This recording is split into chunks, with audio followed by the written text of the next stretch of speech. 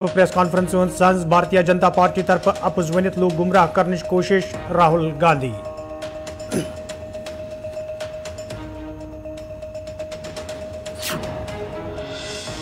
जम्मू कश्मीर इंतजामिया तरफ़ जारी करना आमुत हुक्मनाम आइनस खिलाफ जमहूरी निजामस मज प्रत अकिस आवाज़ बुलंद कर आज़ादी, मोहम्मद यूसुफ तारि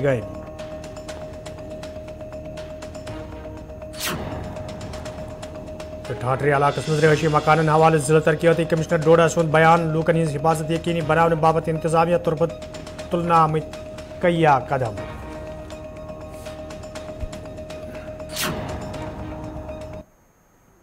तो नाजरीन, पेश खबरन तफसील। वादी हंदिस मौसम मज ये रात पे तब्दीली वुचन आई यथ दौरान कयान इलाकन मज रूद पे तत आज दोपहर पत। पुलवोम तो अत अंद पक इलाकन मज डोट पेन सब्जियन तो मेव बागन नुकसान सपदन खबर त मौसूल सपजम ये जन मुकामी लूको तरफ़ वन आव जोदवे लूक रूद पेन उमीद करान ताहम कयान इलाकन मज डोट पेन जमींदार तो बागव मुश्किल मज तम सा ये सब्जियन तो मेव नुकसान सपुद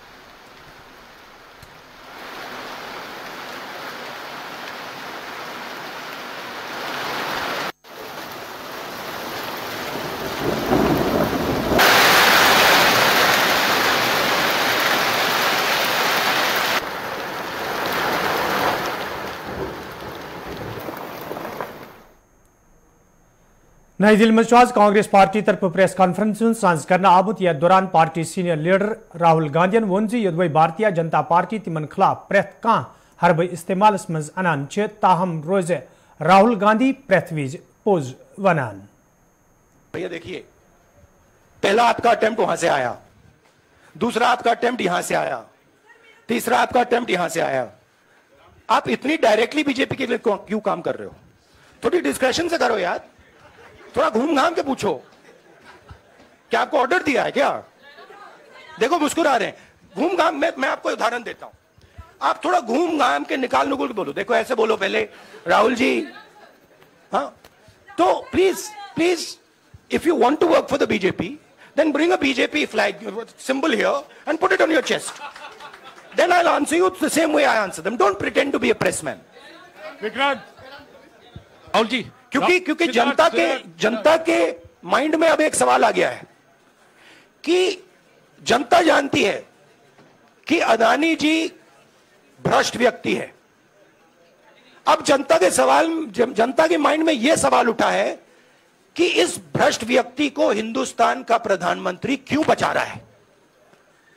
यह मतलब अब सब कुछ बीजेपी के लोग नरेंद्र मोदी जी सब कुछ इस व्यक्ति को बचाने के लिए जम्मू कश्मीर इंतजामिया तरफ़ ये सरकारी मुलाजमन सख्त हिदायत जारी करान। वन आव तम गन सोशल मीडिया पे सरकार खिलाफ कत कर तत मोहम्मद यूसुफ तार गम अमि हुक्मनाम नकतचीनी करान। वोनमुत आयनस मज प्रत कंस शख्स कत कर आज़ादी तो ये हुक्मनाम आयनस तो जमहूरियत खिलाफ। इसी वजह से अगर कोई शख्स सरकार मुलाजम, सरकारी मुलाजमत अख्तियार करता है तो वो खोता नहीं है अपना हक। वो फ्रीडम का हक खोता नहीं, वो एसोसिएशन का हक लूज़ नहीं करता है। वो जो उसको डेमोक्रेटिक राइट्स हैं, ऑर्गेनाइज होने के, प्रोटेस्ट करने के, जहाँ सरकार गलतियाँ करे, या जहाँ उसके अधिकार पर कहीं आँच आ जाए, ये आइन ने वजह किया है। और अगर सरकार ये कहे एक मुलाजिम से कि वो अपने इन हकूक़ से डिप्राइव हो जाए, ये गाराइनी बात है। किसी भी सूरत में ये काबिल कबूल नहीं है। मैं याद जलाना चाहूँगा मौजूदा इंतज़ामिया के रहनुमाओं को, क्या अभी हमारे मुल्क में कॉन्स्टिट्यूशन है और कॉन्स्टिट्यूशनल राइट्स हैं हर शहरी को, मुलाजमों को इज्तमाही तौर जदोजहद करने का भी, नाइंसाफ़ियों के ख़िलाफ़ आवाज़ उठाने का भी, पुरमन एहतजाज करने का भी अधिकार है। जिसे डिप्राइव नहीं किया जा सकता। अगर ऐसा किया गया, ये कानून की खिलाफ वर्जी है, ये आइन की खिलाफ वर्जी है। मेरा मशवरा है, मौजूदा इंतज़ामिया से, आप आइन का पालन करें। कानून का पालन करें, ठीक उसी तरह, जिस तरह बाकी शहरियों के लिए लाजमी।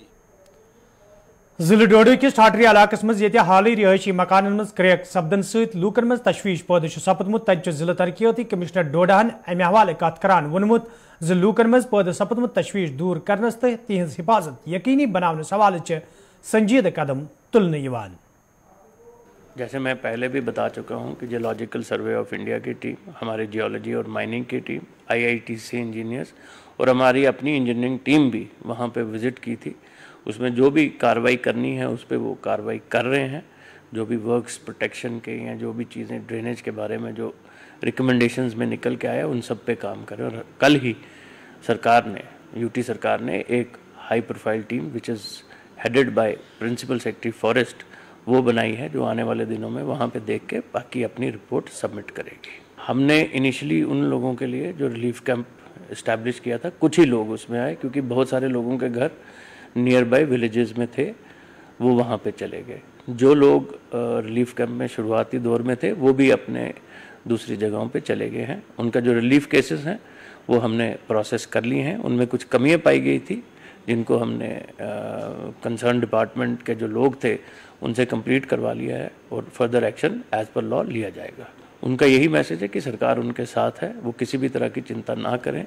जो भी उनका ड्यू उनको मिलना चाहिए नाजरीन कशर खबरनाम जारी तजरती वक्फ।